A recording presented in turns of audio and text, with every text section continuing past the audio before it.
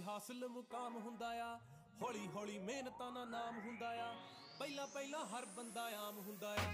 ਦੁਨੀਆਦਾਰੀ ਚੋਂ ਜੋ ਤਰਾਸ਼ ਬਣਦੇ, ਆਪਣੇ ਤੇ ਰੱਖ ਵਿਸ਼ਵਾਸ ਬਣਦੇ, ਹੋਏ ਆਮ ਜਿਹੇ ਮੁੰਡੇ ਵੀ ਨੇ ਖਾਸ ਬਣਦੇ, ਆਮ ਜਿਹੇ ਮੁੰਡੇ ਵੀ ਨੇ ਖਾਸ ਬਣਦੇ, ਹੋ ਆਮ ਜਿਹੇ ਮੁੰਡੇ ਵੀ ਨੇ